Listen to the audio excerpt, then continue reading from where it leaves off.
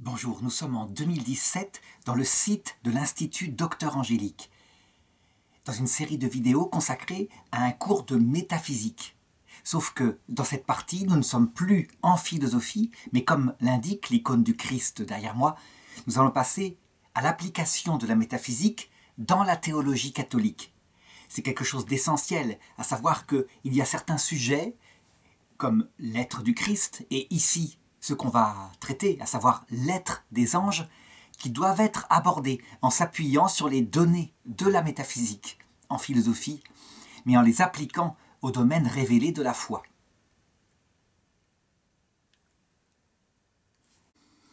Et donc la question qui se pose, c'est qu'est-ce qu'un ange, c'est-à-dire, selon la foi catholique, un pur esprit, selon l'être? Qu'est-ce que pour un ange être donc ce n'est pas une partie pratique de la, théologie, c'est plutôt l'analyse de leur structure métaphysique. Eh bien, pour répondre à cette question, il faut procéder en deux parties. La première va regarder les anges du point de vue de leur substance, donc qu'est-ce que être pour eux, et la seconde du point de vue de leur acte. Ça veut dire qu'est-ce que pour les anges atteindre la perfection de leur être, le plein développement, si on peut dire. Donc, première partie, au point de vue de la substance. Eh bien, on peut remarquer que les anges, purs esprits, qui ont été étudiés en particulier par saint Thomas d'Aquin, le docteur angélique, les anges sont certes de purs esprits, mais ils sont des purs esprits composés. Ça veut dire qu'ils ne sont pas simples, comme Dieu est simple. En Dieu, tout est un. Son intelligence est en fait réellement identique à sa substance. Sa volonté est en fait identique à son intelligence, à sa substance. Quand on parle de la volonté de Dieu, de l'intelligence de Dieu, c'est parce qu'on se sert de catégories, je dirais, prises chez l'être humain, pour mieux comprendre cette personne unifiée où tout est un, il est immuable, il est éternel. Pour les anges, au contraire, il y a espace pour la division. Ça veut dire que les anges, d'abord, sont des personnes. Ça veut dire que ce sont des substances individuelle de nature spirituelle. La définition d'une personne, c'est une substance individuelle, mais qui n'est pas de nature matérielle. Une, substance individuelle euh, capable de, faire des choix, capable de comprendre des choses. Eh bien, les anges, au sens littéral du terme, sont des personnes. Reste à analyser comment elles sont structurées. Eh bien, puisque ce sont des personnes, la première faculté qu'on doit poser dans les anges, c'est l'intelligence. Une intelligence spirituelle, ça veut dire qu'il faut la distinguer absolument de l'estimative animale, qui, eux, leur sert dans un domaine sensible, comme attraper une proie, se reproduire, jouer entre eux, eh bien, à, à trouver le moyen adapté à la finalité, à l'inventer parfois dans les animaux supérieurs. Les anges n'ont pas cette intelligence liée au cerveau, cette intelligence sensible, cette intelligence partagée par les grands singes, les, chiens, etc. L'intelligence des anges est spirituelle. Ça veut dire que son objet essentiel, c'est l'être spirituel. Donc comprendre l'essence des choses. Et puis comprendre que ces essences spirituelles existent ou n'existe pas. Donc poser des jugements d'existence et des jugements sur la réalité des choses. Par cette faculté, on peut dire que ils peuvent être comparés avec l'être humain. L'être humain n'a pas seulement une estimative animale, même s'il l'a, il peut donc euh, comprendre euh, comment attraper euh, une réalité sensible. L'être humain se sert de des données sensibles de son cerveau, mais il possède une faculté d'intelligence spirituelle. Il peut comprendre, comme je l'ai dit, les essences spirituelles, poser des jugements d'existence sur l'existence de Dieu, d'une vie après la mort, des choses qui ne sont pas sensibles, qui ne sont pas représentables par un dessin, mais qu'on comprend ou qu'on ne comprend pas. Eh bien, les anges ont cette même faculté, sauf évidemment qu'elle ne s'exerce pas du tout comme chez l'être humain. L'être humain, pour pouvoir penser, se sert des images fournies par le cerveau.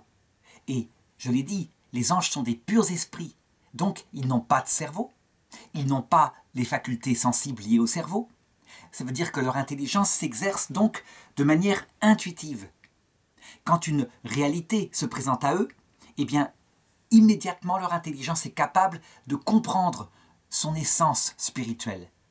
Alors que pour l'homme, on procède par abstraction, on commence par la voir, cette réalité, par, je dirais, regarder ses qualités sensibles, et on en extrait peu à peu à l'aide de l'intellect agent, donc cette faculté de l'intelligence qui peut sortir du sensible sa signification spirituelle. Chez les anges, c'est une opération immédiate, je dirais intuitive, et donc d'une profondeur extraordinaire, bien plus profonde et immédiate que l'homme qui met du temps pour comprendre les choses.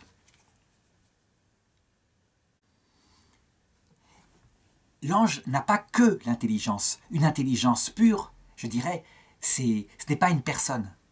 Forcément, les anges ont une deuxième faculté spirituelle qu'on peut appeler la volonté.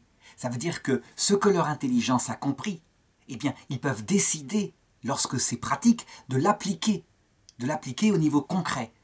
Et donc, cette volonté, qu'on appelle aussi la faculté d'amour spirituel, fait qu'ils sont capables de se porter vers un bien. Ils peuvent vouloir quelque chose et agir en conséquence, efficacement, pour le vouloir. En effet, la faculté de volonté se divise en deux actes. D'abord, elle porte sur la finalité qui est présentée par l'intelligence, donc ceci est mon bien. Et les anges diront, par exemple, eh bien, dans leur premier acte de jugement après leur création, l'évangile révélé par Dieu est mon bien, ou au contraire, l'évangile révélé par Dieu, je le déteste, je le rejette. Je choisis autre chose, un évangile que je vais fonder moi-même, celui de ma puissance, de ma liberté. Ça, c'est leur volonté. Et la volonté, on le voit, elle s'exerce chez eux en fonction de ce que leur intelligence a compris. Donc ce n'est pas une faculté en l'air comme ça. Elle est tout à fait dépendante dans son exercice de l'intelligence. Mais c'est bien une deuxième faculté distincte de l'intelligence parce que son objet n'est pas le même. L'objet de l'intelligence, c'est donc le vrai. L'objet de la volonté, c'est donc ce vrai, mais comme bien, présenté comme bien, vers lequel on se tourne, ou alors euh, vers lequel on met son efficacité pour le conquérir. J'ajoute que cette volonté des anges est purement spirituelle. Elle n'est pas comme nous, comme la nôtre, qui se sert aussi du cerveau, donc des données de ce qu'on pourrait appeler les passions sensibles communes avec les animaux, le concupiscible, l'irascible, pour mieux agir. Je veux dire par là que quand un homme n'a plus aucune impulsion sensible pour se tourner vers un bien, qu'il exerce, comme le disait Kant, son impératif catégorique purement volontaire, eh bien, il n'y met pas toute son énergie. On peut dire que très vite son activité s'use et son intelligence, si elle la porte, eh bien, ne pourra pas la porter éternellement. On a besoin d'un minimum, je dirais, d'impulsion sensible, de plaisir sensible pour atteindre un bien que notre volonté désire. Notre volonté peut certes s'exercer toute seule, et je dirais, ce qui fait l'héroïsme, ce sont des personnes qui ont été capables d'aimer, donc de vouloir le bien d'une personne, indépendamment de tout retour sensible, uniquement gratuitement. C'est évidemment un amour héroïque. Euh, pensons au Christ à la croix, quand il est crucifié, il n'a aucun plaisir et il le fait pour sauver les hommes.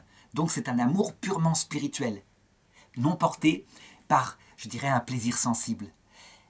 La différence avec les anges, c'est qu'ils n'ont pas de faculté sensible du tout. Et donc, leur volonté s'exerce toute seule, uniquement mue par leur intelligence. Ils n'ont pas besoin de ce plaisir sensible, ça ne fait pas partie de leur être, ils n'en ont pas la faculté. C'est aussi étranger à eux que pour nous, par exemple, je ne sais pas, un sens que nous n'avons pas, comme le, sonar de la chauve-souris. Nous ne savons pas ce que c'est. Nous n'avons jamais expérimenté la donnée à savoir émettre un petit cri qui permet de se diriger la nuit, de savoir exactement euh, où passe un fil, où il y a un insecte, etc. Nous n'avons pas cette faculté-là. Eh bien, pour les anges, le domaine sensible des passions est absolument étranger du point de vue de leur être. Donc, je l'ai dit, je me réfère à la foi catholique, ce sont des purs esprits. Donc, intelligence, volonté. Voilà les deux premières facultés qu'on peut repérer chez les anges. Et il y a une troisième faculté, qui est révélée aussi dans la révélation. Manifestement, ils avaient une mission pour organiser le monde physique en vue de l'arrivée de l'homme. Donc pour préparer à travers la matière un réceptacle, un jardin où l'homme, où l'esprit de l'homme puisse être créé et être reçu. Ils l'ont fait. On pourrait dire que euh, l'évolution, Darwin est une, science réelle qui, manifeste des choses réelles, des lois naturelles de, du perfectionnement de la vie animale et de la vie végétale, mais qu'il y a certains aspects qui manifestement euh, dépassent, dépassent ces lois de Darwin, comme par exemple l'apparition de la vie au point de départ. Un ADN fabuleux, extraordinaire, qui, est tellement complexe, qu'il est des millions de fois plus complexe que nos ordinateurs actuels et qu'il doit apparaître du premier coup, puisque le premier microbe doit se reproduire et se nourrir obligatoirement dès le départ. Là, on voit bien dans, dans ces sauts, dans ces sauts profonds d'organisation, qu'une intelligence organisatrice peut être posée. Et je dirais, saint Thomas disait, ce n'est pas forcément Dieu, Dieu délègue. Il a un principe qui s'appelle le principe de subsidiarité. Dès qu'il peut faire faire quelque chose à une de ses créatures, il le fait faire alors qu'il pourrait faire lui-même les choses. Donc, les anciens parlèrent toujours des esprits de nature qui avaient organisé la nature. Donc les anges ont un pouvoir sur la matière, un pouvoir pour la changer, l'organiser, y appliquer efficacement, de par leur volonté, qui elle-même est ordonnée par leur intelligence, l'ordre qu'ils ont décidé. Et donc, troisième faculté des anges, un pouvoir sur la matière, une puissance réaliste sur la matière, mais sur toute la matière. Ça veut dire toute sauf une chose. Sa création au point de départ. Faire sortir du néant l'être de la matière, c'est pas en leur pouvoir, ils ne sont pas créateurs, ils ne sont pas Dieu. Donc c'est Dieu lui-même qui dit et cela est. Il crée deux choses, dit saint Thomas d'Aquin, la matière au point de départ et d'autre part les esprits des anges qui aussi sortent du néant. Mais tout ce qui suit, à savoir l'organisation de cette matière, ce que par exemple des scientifiques décrivent dans la première seconde de l'univers, quand se mettent en place des constantes mathématiques, eh bien, si certaines choses doivent être organisées par une intelligence, c'est eux qui s'en occupent. Par contre, ce qui suit dans les milliards d'années où, en fonction de cette première seconde, les constantes de la matière se contentent d'exprimer leur potentiel extérieurement, ben ça se fait tout seul par les lois naturelles qu'expriment les scientifiques. On peut dire, dire que leur intervention est uniquement quand l'état précédent de la matière ne peut pas expliquer l'état suivant. Donc en particulier, quand un ordre nouveau, non, euh, je dirais, cohérent avec l'ordre précédent, apparaît. C'est un peu comme si, euh, pour prendre une analogie, pour décrire ces sauts, c'est comme si je lançais en, l'air du sable. Donc il va retomber en un tas avec une pente particulière qui est exactement d'ailleurs, quand c'est du sable sec, la pente des pyramides d'Égypte. Ça, ça se fait tout seul.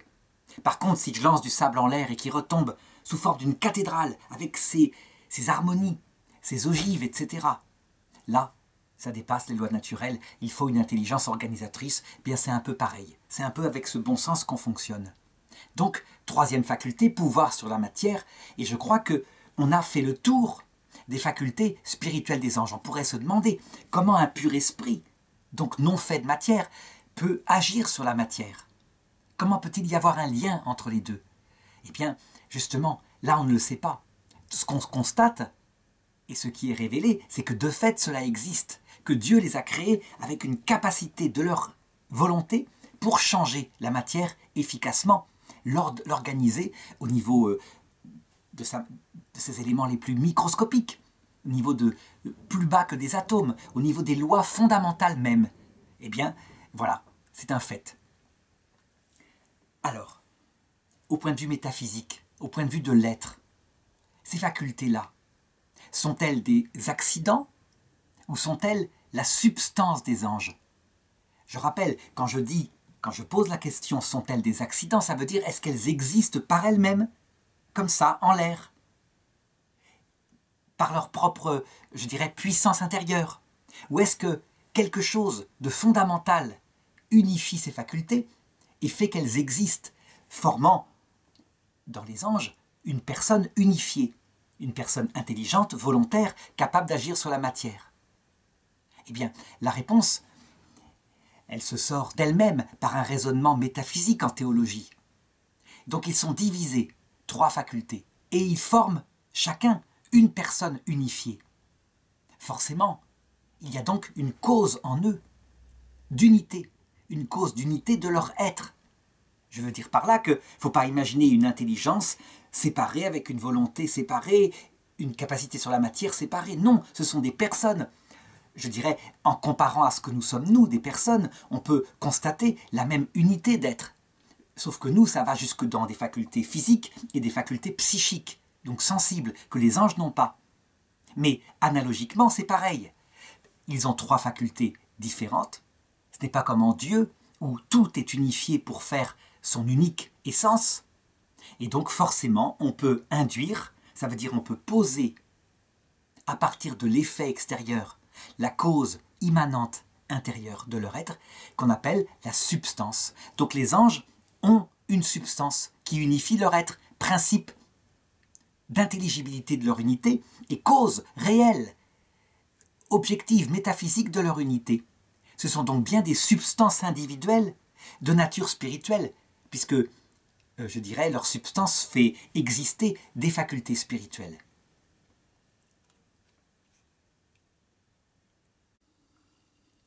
Est-ce qu'on peut dire, comme pour l'être humain, que cette substance est chez les anges une âme? Alors, il faut rappeler au point de vue vocabulaire, pour être très précis, et en même temps garder la souplesse analogique. On appelle âme, ça vient de animal, une substance, donc un principe d'être qui anime en particulier une vie sensible, commune avec les animaux, et une vie biologique. Donc, le chien a une âme sensitive, c'est-à-dire que son principe d'unité d'être, parce qu'il est une unité, il est un être unifié, est purement sensible et biologique. La plante, qui est moins unifiée souvent, ça dépend desquelles, hein, mais certaines plantes sont véritablement très souples, et il suffit de couper une feuille, on la replante, les plantes ont une âme végétative, qui ne fait exister qu'une vie biologique. Les hommes, eux, puisque leur âme, qui est aussi leur substance, l'âme c'est le principe de vie, la substance c'est la même chose pour l'homme, mais ce qui les fait exister comme un être unifié, eh bien, leur âme l'âme des hommes est une âme spirituelle, parce qu'elle fait exister non seulement une vie biologique, une vie sensible, mais une vie spirituelle, pour former une seule personne, ayant entre guillemets deux natures unifiées, dans une union hypostatique, à savoir leur nature animale et leur nature spirituelle. Les anges, eux, n'ont pas du tout de vie biologique et pas du tout de vie sensible. Ce sont des purs esprits. Donc, au sens strict du terme, on ne peut pas dire que leur substance est une anima. Donc c'est une substance, un principe d'être, mais pourtant, le fait qu'ils sont intelligents, volontaires, c'est donc qu'ils sont vivants. Et donc sous ce rapport-là, par analogie, en comprenant bien que on parle de vivant à ce moment-là et non pas d'animal, on pourrait dire que la substance des anges est une âme. On pourrait parler, je dirais selon un autre sens, de l'âme des anges, effectivement, sachant bien, gardant bien le repère de la foi, chez eux, aucune espèce de vie sensible, donc pas de cerveau, pas de corps, pas de vie biologique.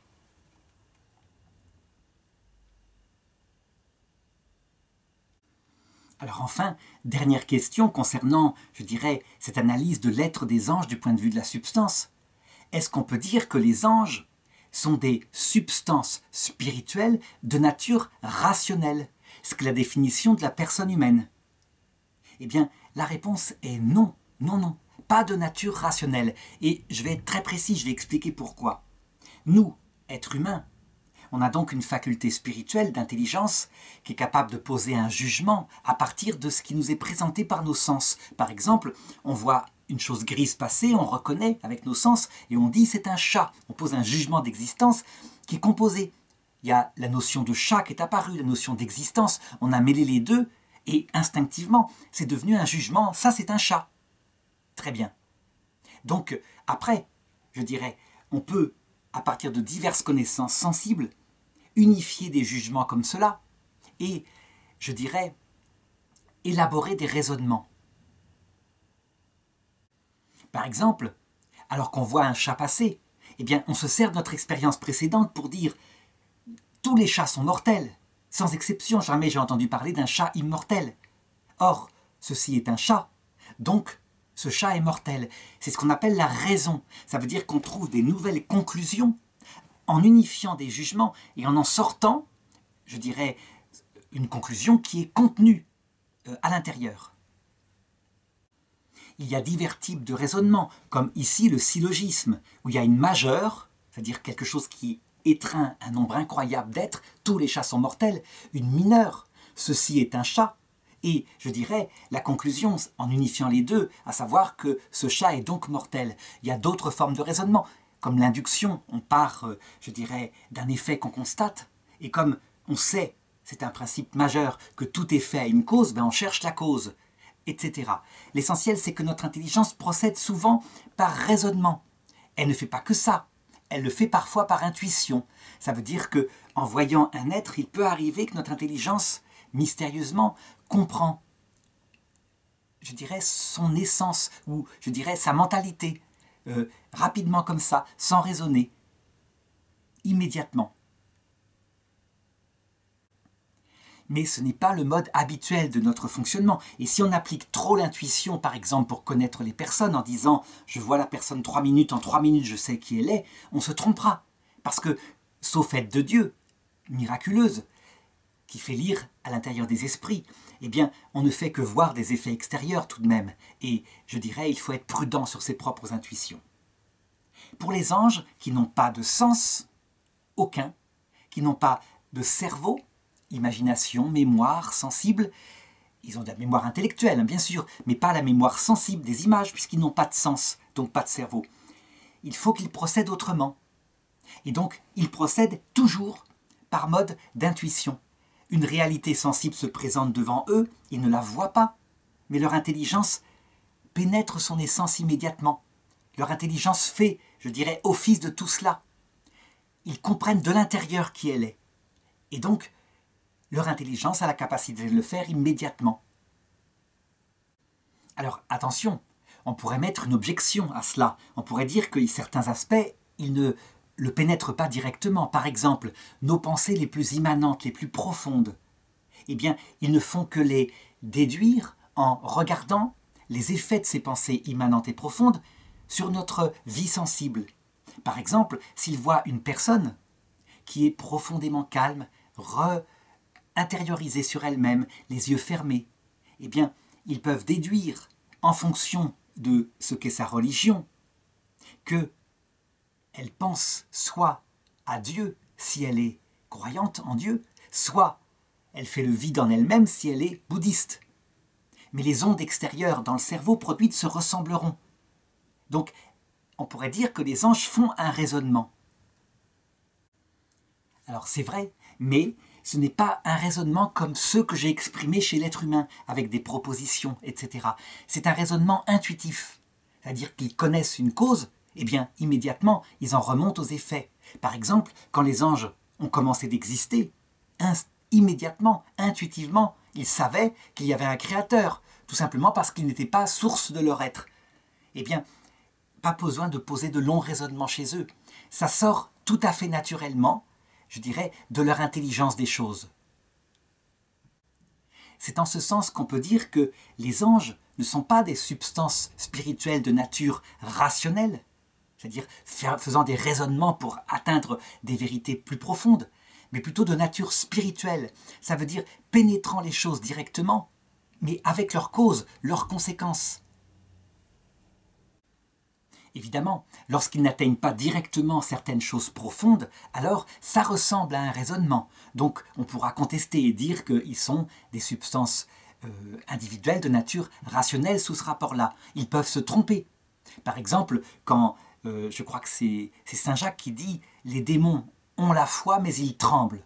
Ça veut dire que en regardant le comportement du Christ, ils ont la foi, c'est-à-dire qu'ils savent intellectuellement que c'est forcément le Messie et que peut-être même, peut-être même il est plus que ça. Et donc ils tremblent de l'idée qui pourrait leur venir, à savoir qu'il serait Dieu fait homme. Parce qu'il l'a dit quelque part, c'était ambigu, mais il l'a dit tout de même. Donc ils tremblent que ce soit vrai. Alors voilà, ça ressemble à un raisonnement quelque part. Alors, maintenant, il faut que je passe à la deuxième partie, à savoir l'étude métaphysique de ce que sont les anges, mais cette fois du point de vue de l'acte. L'acte, c'est la deuxième question qu'on se pose en métaphysique. Quand un être est devant nous, qu'est-ce que, au point de vue de l'être, que son perfectionnement? Par exemple, si on voit une graine comme un gland de chêne, eh bien, on va poser que son être parfait, bien que lui substantiellement soit là, complètement, c'est un individu. Mais son être parfait, c'est de devenir un chêne adulte, un chêne capable de se reproduire, un chêne géant. Donc il y a un devenir dans l'être qui fait que l'être atteint ce pourquoi il est fait, sa perfection.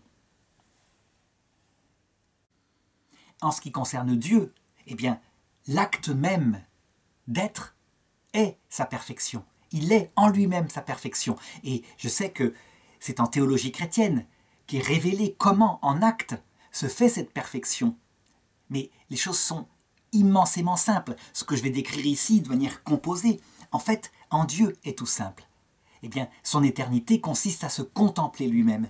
Il se contemple parfaitement, et c'est source de l'acte même de sa connaissance. Sa connaissance, c'est identique à lui-même, c'est son verbe.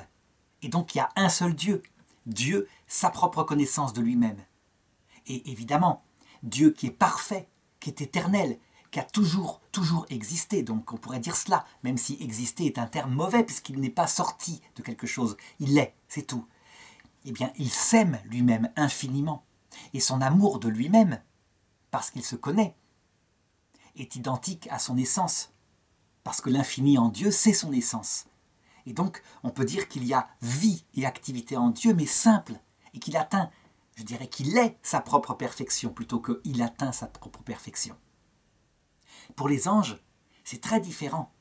On pourrait plutôt faire une analogie avec l'homme, à savoir qu'ils sont créés, mais dès le départ, à la différence de l'homme, ils reçoivent certaines perfections. L'homme, lui, quand il est conçu, il est vraiment tout petit au départ, un ovule fécondé, et il reçoit son âme spirituelle qui dort. Donc, du point de vue de l'acte d'être, il a tout à développer. Il a à développer son corps, qui va commencer à se diviser. Sa psychologie va commencer à apparaître à un moment donné. Puis, son intelligence et sa volonté vont commencer à s'exprimer, mais bien après la naissance. Les premiers actes d'intelligence d'un petit bébé, c'est peut-être deux ans et demi, trois ans. C'est-à-dire capable de poser quelque chose qui n'est pas seulement sensible en disant ceci est un chat, ça c'est un acte sensible commun avec les animaux, mais un acte spirituel du style si on lui explique que le petit chat là est mort, mais qu'il est parti au ciel, où il est dans un paradis, eh bien, il comprend que ce n'est pas le ciel avec les oiseaux, mais que c'est le ciel spirituel. Très très vite ça peut se faire, avec une petite explication simple. Et l'enfant, il se servira certes de son imagination, il imaginera un monde comme ici, mais il a compris que c'est un autre monde, ce qu'un animal ne peut pas comprendre du tout. Donc, l'être humain se développe en se servant de ses sens, selon toutes ses potentialités. L'ange, lui, comme il n'a pas de sens, qu'il n'a pas de cerveau, qu'il est une intelligence pure, eh bien, il est créé, dit saint Thomas d'Aquin, avec la perfection immédiate des connaissances qu'il lui faut dans son intelligence, en fonction de ce que Dieu lui veut, de manière naturelle, et en fonction de sa mission, à savoir transformer, organiser la matière. Il y a seulement certaines choses qui ne lui sont pas données au départ. C'est le projet éternel qui lui est donné dans un second temps, la révélation de l'Évangile. Ça, c'est une révélation surnaturelle. Donc quelque chose qui vient se surajouter, et les anges y adhèrent ou peuvent la refuser. Ça veut donc dire que, dans un premier temps, les anges sont créés adultes, complètement adultes, ils savent ce qu'ils doivent faire, qu'ils sont des ingénieurs qui vont organiser le monde. Ils adorent, au sens reconnaître Dieu comme leur créateur, tous les anges le font. Et donc, il n'y a pas, du point de vue de l'acte d'être naturel, de différence entre les anges et les démons. Ce sont les mêmes réalités substantielles. Donc, du point de vue de l'être, on ne peut pas mépriser un démon. Du point de vue de l'être, c'est une réalité magnifique, comme je l'ai dit précédemment, substance individuelle, intelligence, volonté, pouvoir sur la matière. Du point de vue de l'acte, de la perfection naturelle, les démons aussi sont absolument uniques, magnifiques. On peut dire que nous sommes, en comparaison de leur intelligence, comme des enfants de 3 ans. et eux seraient des adultes. Je parle là, y compris pour les anges les plus petits, les plus simples, que sont les simples anges gardiens. Alors, est-ce qu'on peut dire que au moins il y a une différence entre eux du point de vue de la capacité intellectuelle? On sait que, dit la Révélation, ils se sont hiérarchisés dans ce premier temps et ils ont reconnu comme étant plus intelligents que tous, plus puissants de ce point de vue-là, Lucifer, le porte-lumière. Le porte-lumière, c'est-à-dire un chérubin resplendissant dont ils ont admiré la simplicité des vues, la pénétration de l'intelligence. Est-ce que là, on peut dire qu'il a un acte d'être supérieur aux autres? Eh bien, je ferai une comparaison. Un petit ange gardien, quand je dis un petit ange gardien, euh, par rapport à nous, évidemment, c'est immense, hein, c'est une mer d'intelligence. Mais un petit ange gardien, en comparaison d'un chérubin comme Lucifer, eh bien, c'est comme un dé à coudre par rapport à une mer. Mais dans les deux cas, ils ont leur perfection dès le départ. Ça veut dire que le dé à coudre est plein de ce qu'il lui faut comme connaissance. Et la mer est pleine de ce qu'il lui faut comme connaissance naturelle pour sa mission, c'est-à-dire appliquer le plan de Dieu qui va organiser la matière. Donc, ils atteignent leur acte d'être naturel dès le point de départ par un don de Dieu, ce qu'on pourrait appeler une science infuse. Et leur volonté, qui suit leur intelligence, eh bien, quand elles décident que quelque chose est le bien, ils le font simplement, d'un seul coup. Il n'y a pas, je dirais, de choix, puis ils changeraient de choix, etc. Ils comprennent et, en conséquence, ils appliquent. Donc, je dirais, dans le premier acte de leur création, puisque leur mission c'est d'être ingénieurs et d'adorer Dieu, ils le font tous. C'est tout. Il ne faut pas chercher plus loin. Il n'y a pas de bébé ange qui grandissent. Ça n'existe pas.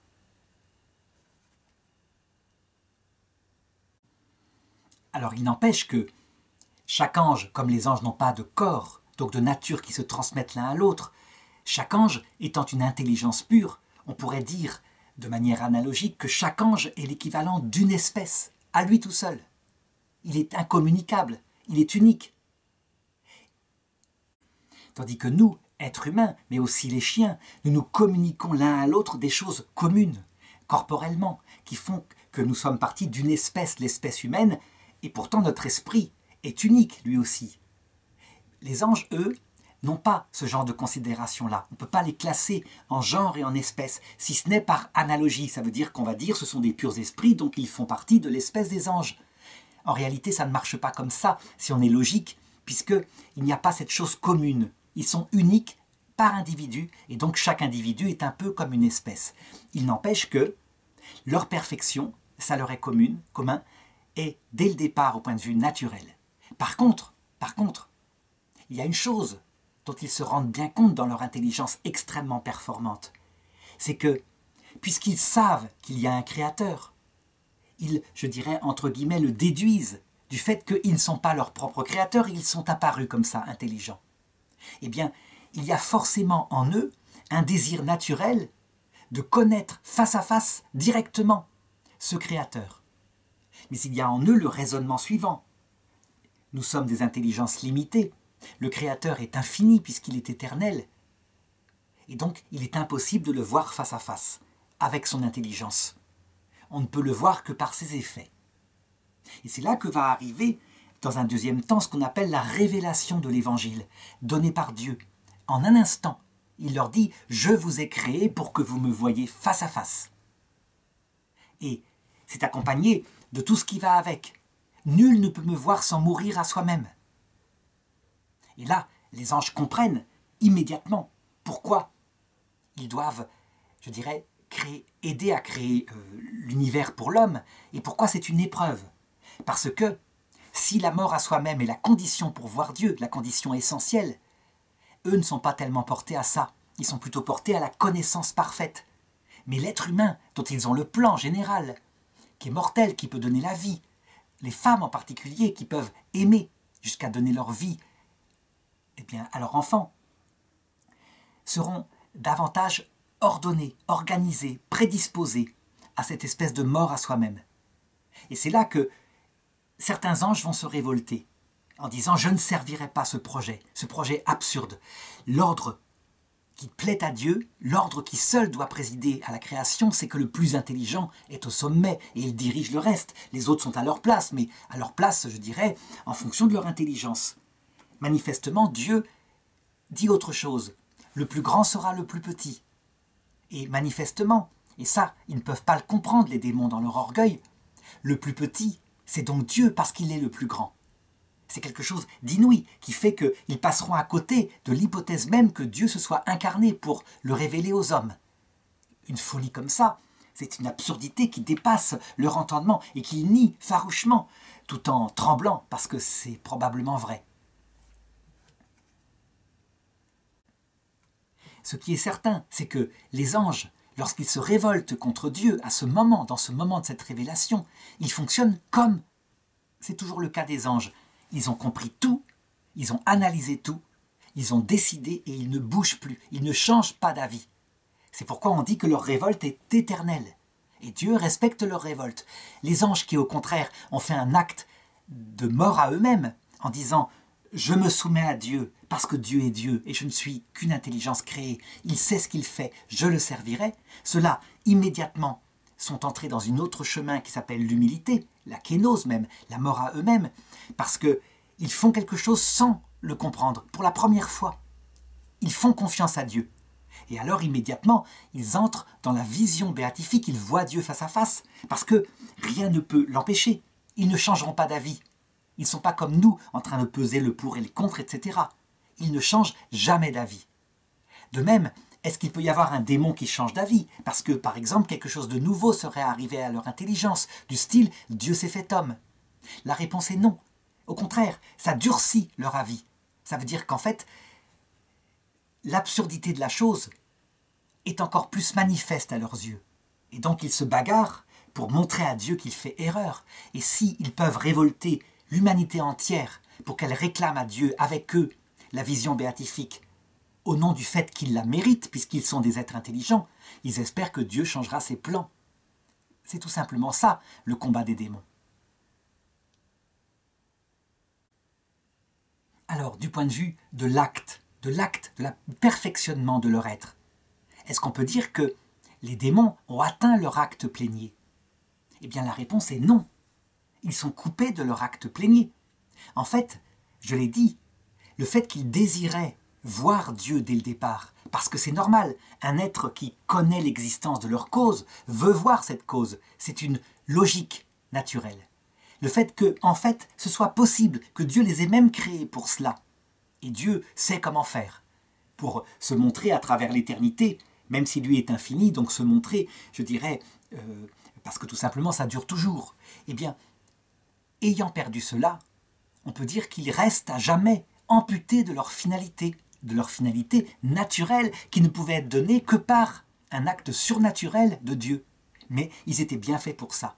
Résultat, ils restent au point de vue naturel, dans la noblesse de ce qu'ils sont, hyper intelligents, avec une volonté très déterminée, une puissance sur la matière.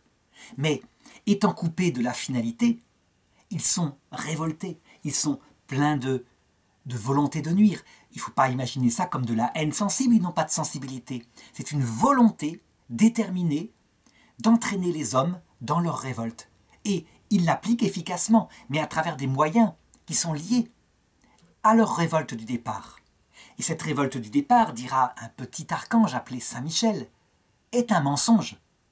La réalité, c'est que ce n'est pas la gloire de Dieu qu'ils veulent, à savoir que lui, l'intelligence suprême, règne au-dessus des intelligences en fonction de l'ordre. Non, c'est seulement leur place de premier qu'ils veulent garder. C'est évident.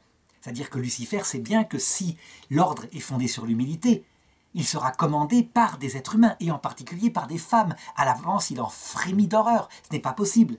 C'est une métaphore quand je dis il en frémit d'horreur. Il n'a pas de sensibilité, mais il n'en veut pas. Spirituellement, intellectuellement, il n'en veut pas. Et donc, il applique sa révolte comme ça.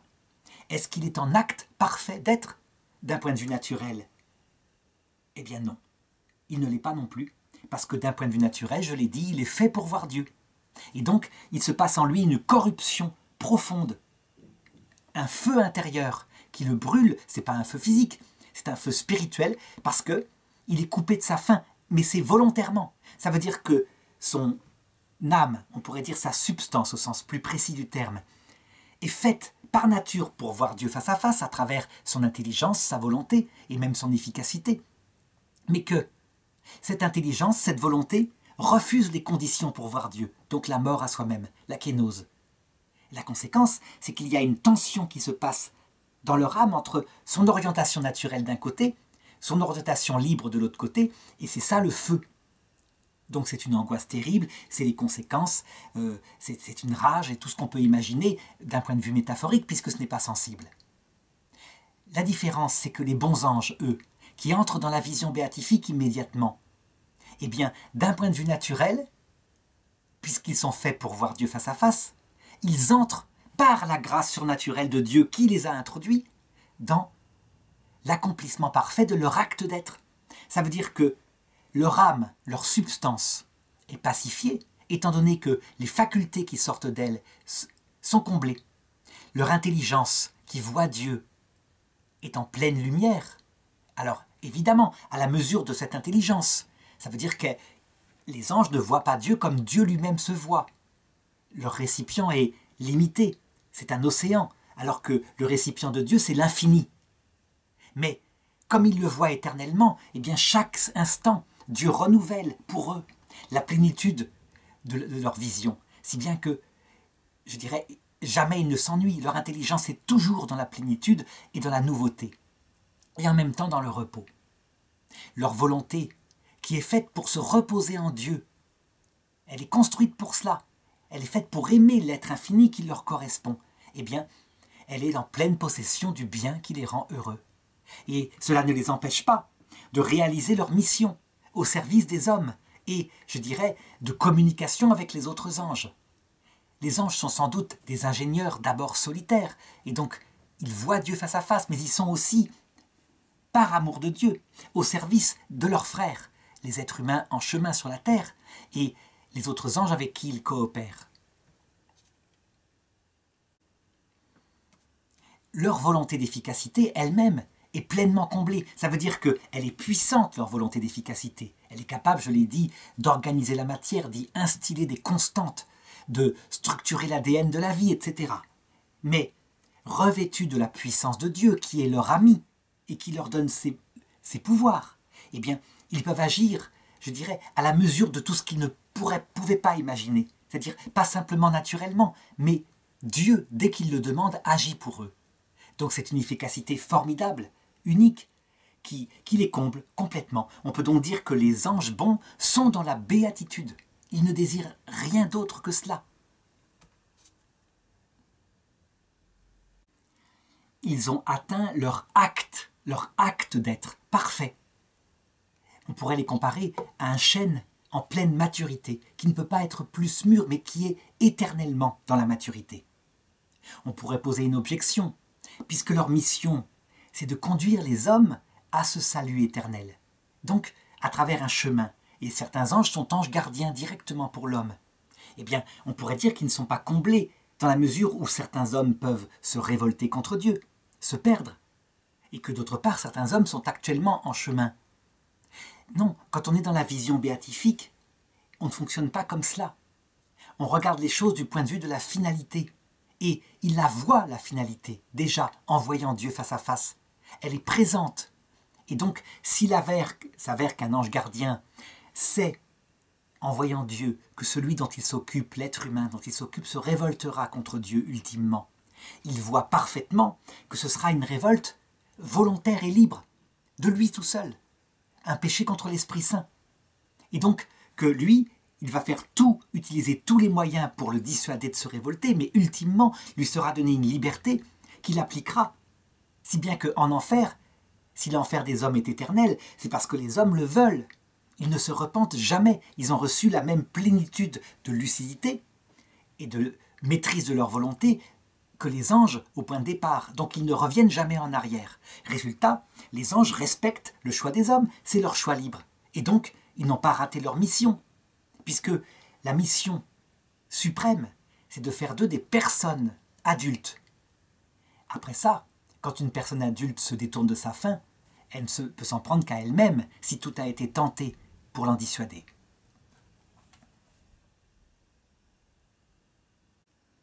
Donc, on pourrait résumer ainsi, au point de vue métaphysique, du point de vue de la substance, les anges sont des êtres euh, spirituels, des substances individuelles de nature spirituelle.